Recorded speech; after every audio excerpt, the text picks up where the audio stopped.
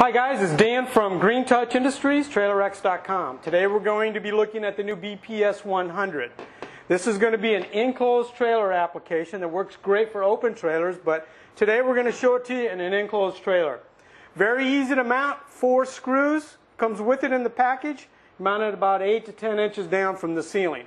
Now we're going to put our blower in it. All we have to do is turn our lever, open up our securing arm, which swings all the way back flush, which is great because it gives us plenty of room to work with. Now let's grab our blower, set it in here, and see how she secures. Okay, that's just going to drop in like that. I'm going to bring my securing bar around, grab my hose, drops right in. That's all there is to it.